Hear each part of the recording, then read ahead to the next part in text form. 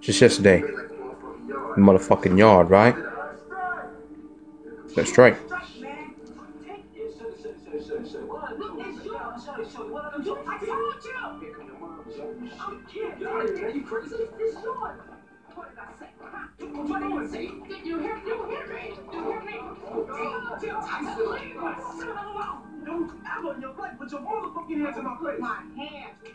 Stop putting hands in your face, man. In your face, man. Well, you ain't buying him shit.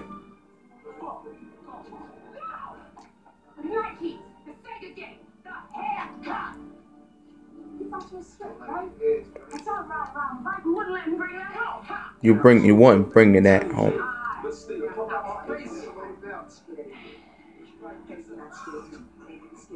Maybe you're scared of that one.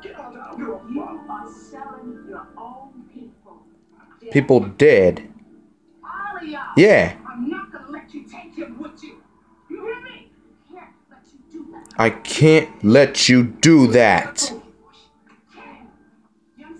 Yeah.